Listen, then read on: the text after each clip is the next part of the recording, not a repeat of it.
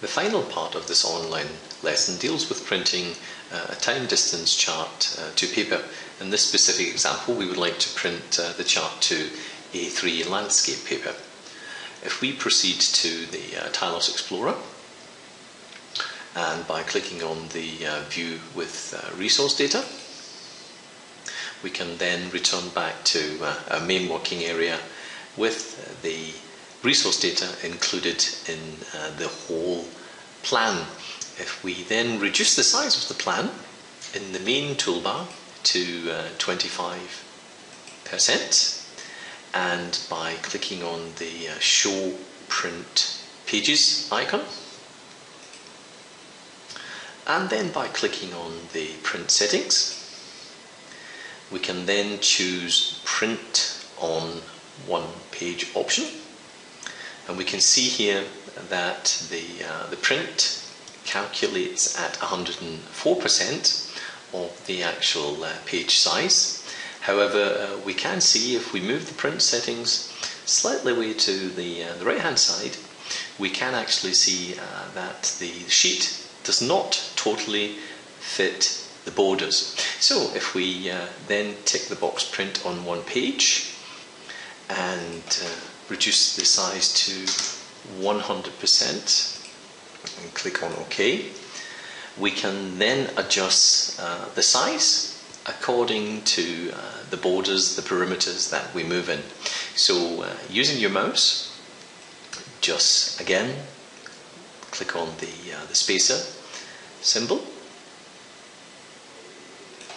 and uh, up here uh, just slightly to your right hand side, we, uh, we now have an, an output uh, format uh, that we can then print in a moment.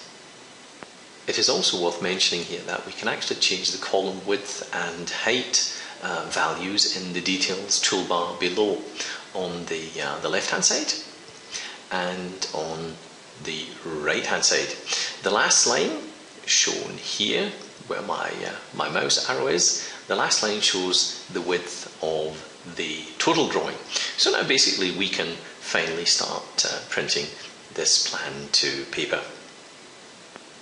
Finally, by changing the start and end coordinates in uh, the details toolbar at uh, the bottom of our screen in the uh, cell settings uh, view tab, I can uh, reduce um, the area which I would like to show uh, on a different scale uh, within the project. And um, in addition uh, to this, the pictures uh, basically that uh, have been drawn in the plan can also be clipped too. So if I would like to change my start and end coordinates to 2000 meters, to example 3000 meters, and hitting return, I can uh, see that uh, graphically the view that I wish to print uh, has now been reduced in accordance with the start and end coordinates. The, uh, the graphics uh, above, as you can see here, uh, have also been clipped um, accordingly. And um, the reason for this is that I can provide a level of detail of a plan either for my work crews in the field or, for example, uh, a contractor or management or stakeholders. Uh, this is the reason, basically, uh, for uh, doing this. So, uh, we have now reached the, uh, the end of this online tutorial. I would like to thank you for your time.